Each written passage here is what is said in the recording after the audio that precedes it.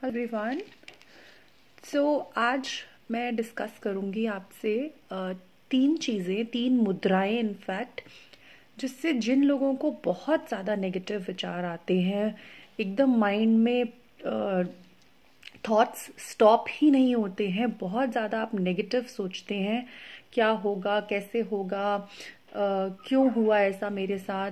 Future में क्या होगा? जब ऐसे थॉट्स लगातार आपको परेशान करते हैं और माइंड एक जगह स्टेबल नहीं रहता है, आपका थॉटलेस नहीं रहता है तो क्या करना चाहिए? और ऐसी स्टेजेस में नॉर्मली जो प्रॉब्लम्स डेवलप होती हैं, वो होती है stress depression anxiety insomnia so इन प्रॉब्लम्स से बचने के लिए या ऑलरेडी अगर आपको ये प्रॉब्लम स्टार्ट हो चुकी हैं तो आप क्या कर सकते हैं, सिर्फ़ तीन दिन की प्रैक्टिस से only three days practice will show improvement in you and आप इन जो थॉट्स जो लगातार आपके मन में बने रहते हैं, उसको आप कम कर पाएँगे इन चीज़ों से।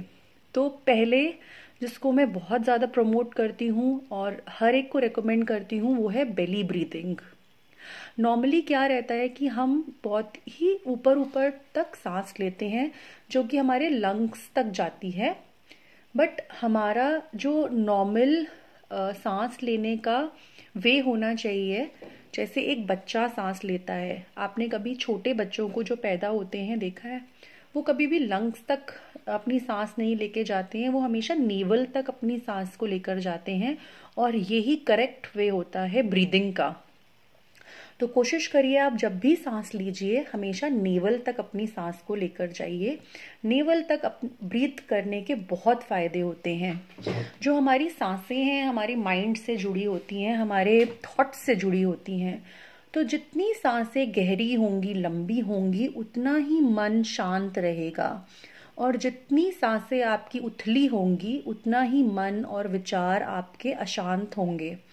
तो कोशिश करिए हमेशा बेली ब्रीथिंग करने की, हमेशा पेट तक सांस लेकर जाइए। जब आप इसकी प्रैक्टिस करेंगे, रोज़ 10 मिनट निकाल कर पहले ये करना शुरू करिए। फिर धीरे धीरे आप देखेंगे कि नॉर्मल आपका जो वे ऑफ़ ब्रीदिंग है, वो चेंज होना स्टार्ट हो जाएगा। और इसी तरीके से आपके माइंड के थॉट्स भी चेंज होने शुरू हो जाएँगे। जो सेकेंड मुद्रा है, उसको हम खेचरी मुद्रा बोलते हैं। खेचरी मुद्रा में हम क्या करते हैं, अपनी टंग का यूज़ करते हैं और उसको ऊपर तालू से लगाते हैं, जो कि कुछ इस तरह होती है, ऐसे जीप को तालू से लगा के रखना। जब आप इस मुद्रा का यूज़ करते हैं तो आपका जो एनर्जी का फ्लो है, जो क्राउन से आ रहा होता है, वो बढ़ जाता है।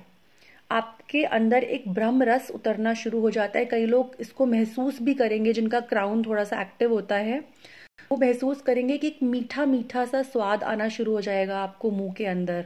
तो इसको हम ब्रह्म रस बोलते हैं, जो कि आपके क्राउन से आता है, जो कि डिवाइन एनर्जी होती है।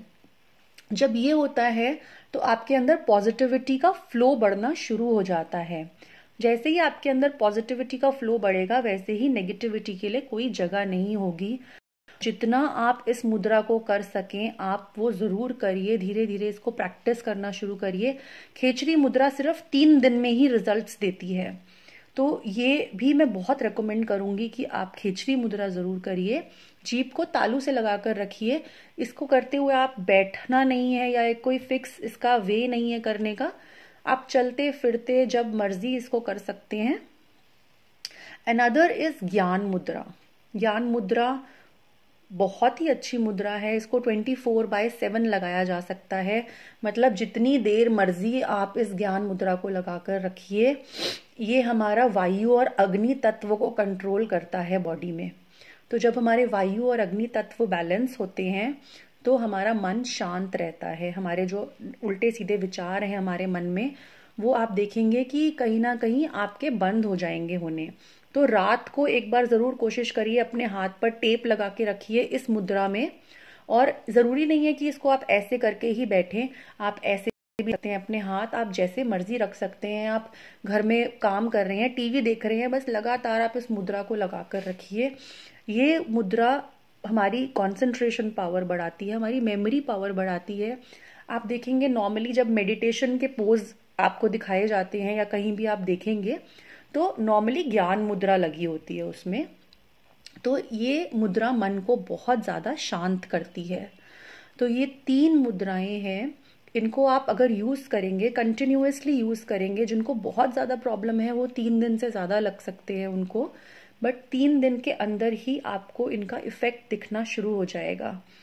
सो आई होप कि जिन लोगों को बहुत ज़्यादा नेगेटिव थॉट्स की प्रॉब्लम है, वो इसको एक बार ट्राई ज़रूर करेंगे एंड इसके रिजल्ट्स ज़रूर और ज़रूर मिलते हैं। So do try this mudra and ये तीनों मुद्रा लगाइए आप। तीन दिन तक ज़रूर प्रैक्टिस करिए इसकी and do give your feedback so thank you so much